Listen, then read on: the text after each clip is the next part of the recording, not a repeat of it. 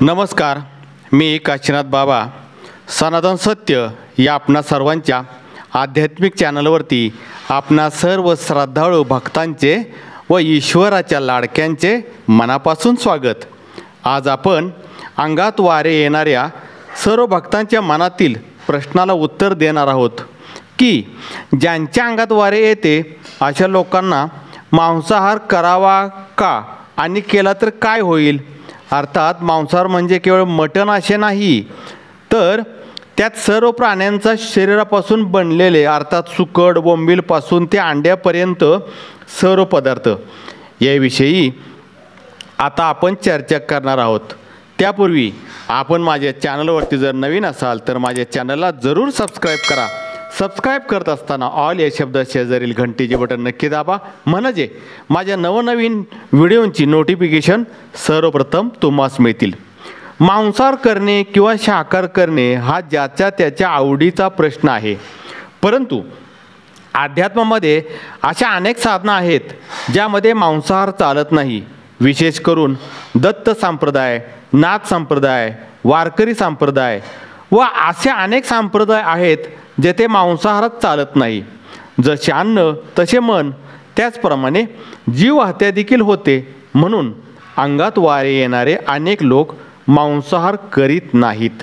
परंतु अध्यात्मामध्ये सदना कसाई हा असा एक संत होऊन गेला जो पशुहत्या करून मांस विकण्याचे काम करीत होता तरी देखील त्याची भगवान विष्णूवरती खूप भक्ती होती त्याचे मन खूप पवित्र होते श्रद्धाळ होते. भगवान विष्णू त्याच्यावर प्रसन्न झाले. भक्ती करण्यासाठी शरीर नाही तर पवित्र मनाची आवश्यकता असते. तुम्ही मांसाहार करा किंवा करू नका. असे मी मुळीच सांगणार नाही. ते तुमचे तुम्ही ठरवा. अनेक अंगात वारे येणारे लोक मांसाहार करतात. परंतु त्यांना माझे एवढेच सांगणे आहे की जर तुम्ही मांसाहार करीत असाल तर तुमच्या अंगात ज्या देवी देवतेचे वारे येते तिच्या वारी अमावस्या पौर्णिमा सणातुसुदीचे व पवित्र दिवशी तरी कमीत कमी मांसाहार करू नका. जर तुम्हाला तो पूर्णच बंद करायचा असेल तर करू शकता चांगलीच गोष्ट आहे.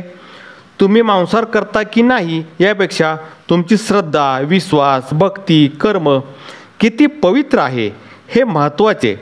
जसे कर्म पवित्र होत जाते तसतसे तुमचा मांसाहारसुद्धा नक्कीच सुटतो.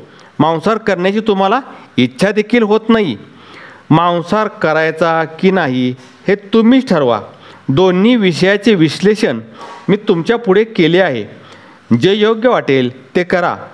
आता व्हिडिओ कसा वाटला हे कमेंट्समध्ये मला जरूर कळवा. व्हिडिओला लाईक व जास्तीत जास्त लोकांसमोर शेअर करा. आपण माझे व्हिडिओ मनापासून पाहिले याबद्दल मी आपल्या सर्वांचा मनापासून धन्यवाद. जय